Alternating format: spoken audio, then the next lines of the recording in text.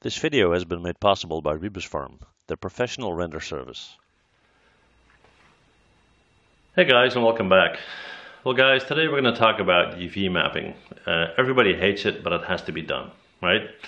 Well, uh, I've been doing videos uh, on Maya since about 2014 and every time there's a new Maya release I get the question, can you do a tutorial on how to UV map in 2014, 15, 16, 17 and so forth. Um, main reason is that people find this a very uh, complicated topic and uh, have a belief that if they know what all the individual buttons are, they will uh, figure out how to UV map.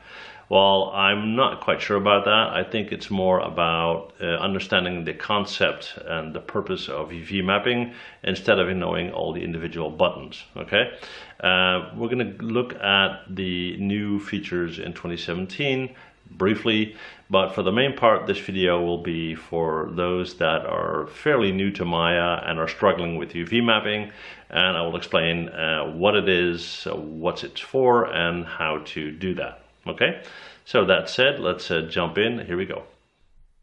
Okay guys, so UV mapping in Maya 2017.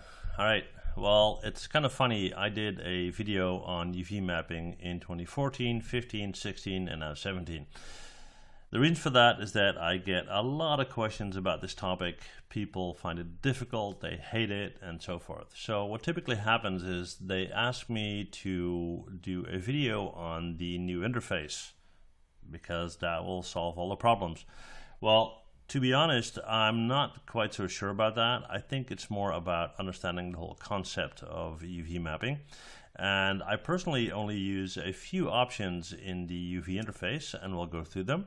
I will uh, mention later on in the video what's new in 2017. But that said, we're going to do a quick run through of UV mapping in general. Uh, yes, again. Okay. So what we're going to do is we're going to take a polygon cube. I'm going to try to do this fairly quick. Okay. So I got a cube, but that could be a sphere, a cylinder, anything. And this object has a number of faces, as you can see. All right. Now, let's say I want to give this a color. Well, actually, it already has a color. It's gray. And where does that gray come from?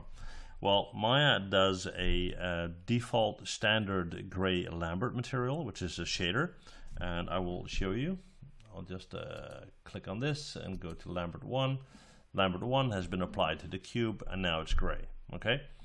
Now there's a difference between shaders and external 2D texture files. A shader is, you could compare it to a bucket of paint that you drop all over your model. Okay. So I want the cube to be gray. I kick a bucket of gray paint all over it and it's gray. Fine.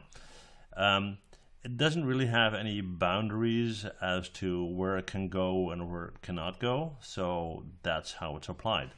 But what if I want to apply, let's say, a wood texture to this cube? For example, I would have to keep in mind that the scale is correct and I would probably have a seam somewhere. Now, why would I have a seam?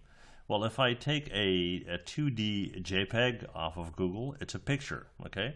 So how do you wrap a flat picture onto a 3D cube? That's the whole deal, right?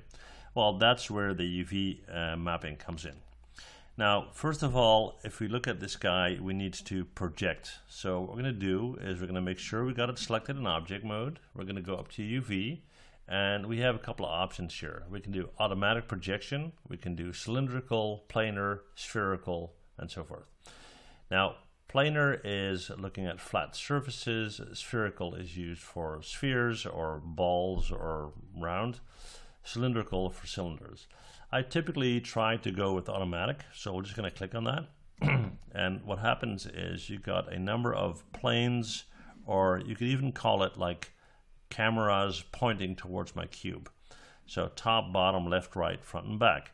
And with all these snapshots taken, if you will, uh, Maya comes up with a suggestion of what this cube looks like. Okay, so we're going to go to UV, we're going to go to UV editor, and let's see what Maya came up with. So I'm going to move over, I'm going to zoom out a little bit, and behold, Maya came up with six faces. Whoop-de-doo, okay? Now, what's to do with these faces? So what do I do with it? Do I need to um, pile them up, stitch them together, or what? Well, that all depends on what you want to do. If you want to apply a uniform texture, let's say a 2D file of a complete black surface, pretty much the same deal as your shader, right? So you wouldn't have to stitch anything. But what if you want to have, let's say, the top and the sides to be yellow and the bottom to be black? Well, in that case, it's a different story. So what we're going to do is we're going to right click on our model here and we're going to go to face and as we hover over our model we can see that this is our top face which is located down here okay? So I'm going to click here right click go to shell select it hit W and move it over here. Okay so that's my top fine. So what I want to do is I want to stitch these sides onto the top there. So I'm going to right click and go to edge select that and as I hover over you can see that the corresponding edge is over here okay? So I'm gonna select that and I'm gonna go up to move and sew. It stitched this together. I want the same to be done here and that's the corresponding edge. So I'm gonna click on that hit G to repeat last command click here G to repeat last command and click here and G to repeat last command now, and to be complete, what I can do is for the bottom face, decide to stitch it here if I want. Okay? So move and sew. So this is my complete UV for my cube. So I'm going to right click and go to uh, shell. And in order for this to work, it has to be in this right top quadrant, which is called the 0 to 1 space. Okay? So I got it selected and I'm going to go up here to polygons and I'm going to go to layout. And when I click on layout, Maya will position it to the best of its knowledge in this area. So if I have multiple objects, it will space them all out so they all fit nicely together and there's no overlap. Okay, cool. So that's the easy part. But what if it gets a little bit more complex? Okay, so what we're going to do is we're going to shut this down and we're going to alter this a little bit. We're going to right click, go to face, control E to extrude, R to scale in, G to repeat last command, W to pull up, control E again to extrude, R to scale out, W to pull up, To repeat, W to pull up again, and that's it. So we got a little sloped area here, we got this thing going on and so forth, okay? Now, let's say that this is gonna be some sort of table or whatnot, and if we right click and go to face, all of this, oh, not that, all of this is gonna be, let's say, I don't know, wood, and everything uh, above that will be, I don't know, stone, okay? So what you would do in a situation like that is you would right click at object mode, select the whole thing, go to UV and automatic projection. Once again, that's what I like to use. We're gonna go to UV and UV editor. And now we got a few more parts to consider. So let's move this a little bit down here so we can see what's what. Okay, and we'll zoom in a bit here so we can kind of work with that. Okay, so what I want to do is identify my top. Now, already I can see by hovering my mouse here, that's my top. Okay, so right click shell, hit W to move it. I'm going to right click and go to edge, select that one, go to move and sew, hit G to repeat there, G to repeat there, and G to repeat there. And then I have these edges. So let's try this. But now I'm in trouble because I have this face right here. Uh, let's see, that one. But I want one here, here, and here. And this is all stuck together, okay? So what I need to do is I need to cut this. So I'm going to right click go to edge and I'm going to take one, two, three, four edges and I'm going to go to cut UV edges. Okay, so now if I right click go edge here, I can go to move and sew. And here hit G to repeat, and here hit G to repeat. So this guy is now complete. This is our top, as you can see. All right. And the cool thing about it is that the seams are in a natural position because if I go to these two edges, that's already on a corner, so that is already an edge. So that's cool, okay? So we've got this guy, we're gonna move it out of the way for a sec. And let's look at the guy at the bottom. Now, a couple of ways you can approach this. We can do the same thing as before, start down here and then work our way up, side, side, side, or you can decide to wrap this around and that around, etc. Now we're going to follow pretty much the same workflow we had just now. So this is our bottom. We're going to move it out here. We're going to right click at edge. We're going to go to move and sew. Repeat that here. Hit G to repeat, G to repeat, G to repeat. And then we're to go up here and there we have that same situation again. Okay. So again, we have to move in, take these edges and go to cut UV edges. And now we can right click at an edge and we can do one here. Move and sew. G to repeat, G to repeat. Okay. And this is now one shell. So what do we got left? We got these guys. Right click edge. Okay. So we're going to go with move and sew.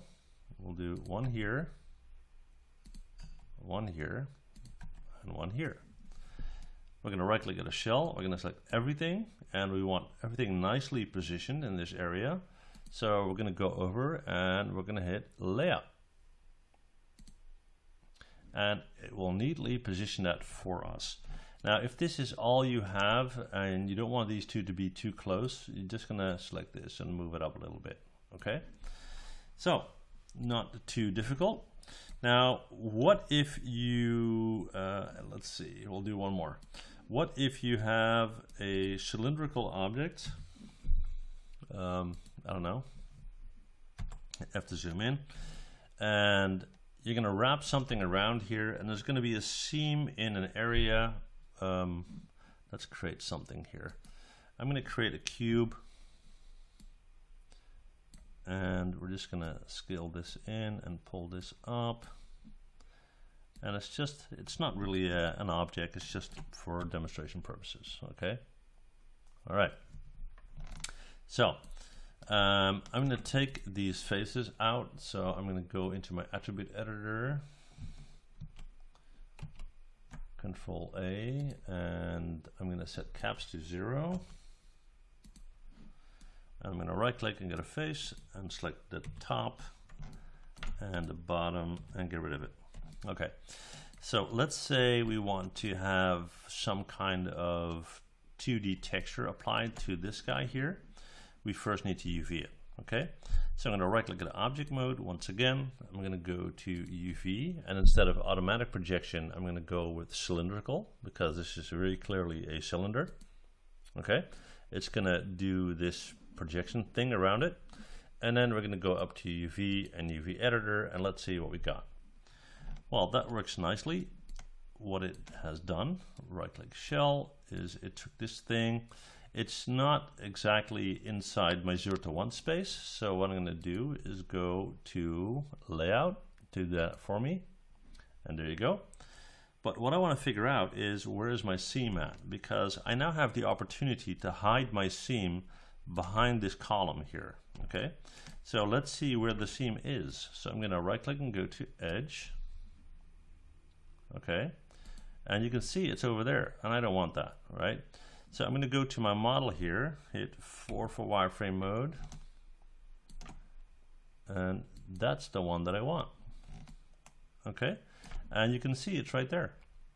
So I'm going to right click at the edge, I'm going to select it, and I'm going to go to cut UV edge. Where'd he go? Right there.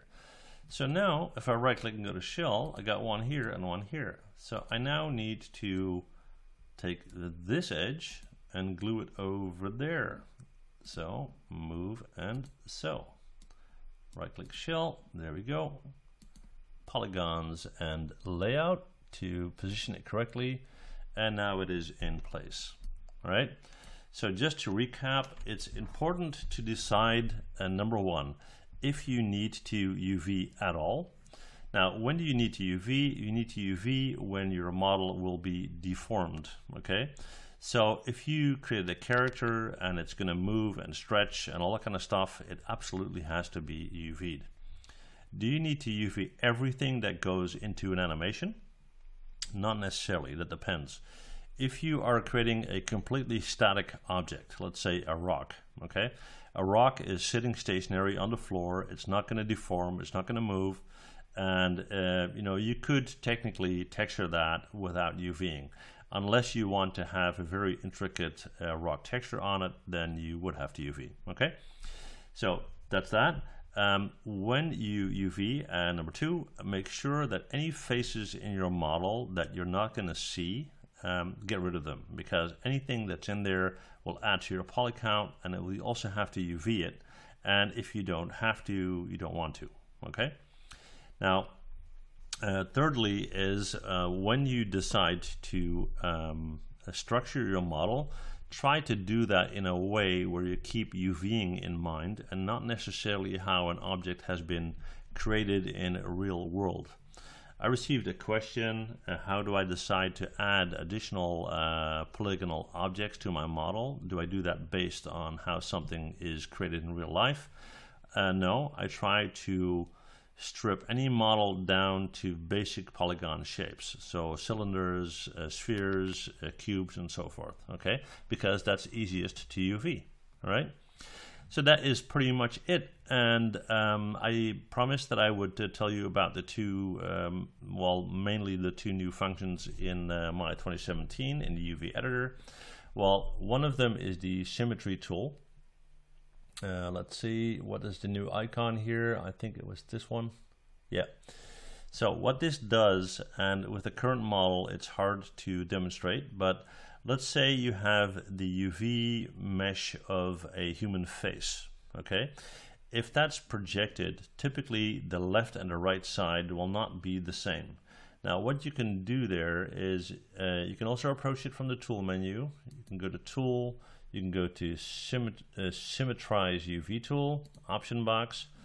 You have the option to have a U line, which will be a vertical line from top to bottom. And once you select that, you get this little um, circle and you can brush over one side of the mesh to get it similar to the one on the other side. And if you want to do that from top to bottom, so horizontal, you switch to V, okay? And then the other one is this guy here, which is the uh, layout UVs. Now this button does pretty much exactly the same what we've been doing just now, and I'll demonstrate. We'll just uh, right click and, come on, I gotta get out of that tool, yeah. So, uh, I got this, let's say over here, I want it to be positioned nicely, so I'm just gonna hit that thing, and it's gonna position that similar to what I did with the layout in here. Okay, so that is pretty much a quick recap of UVing. Um, let me know if that uh, covers your needs. If you have any questions, please let me know. And that said, thank you guys for watching and see you guys next time. Bye.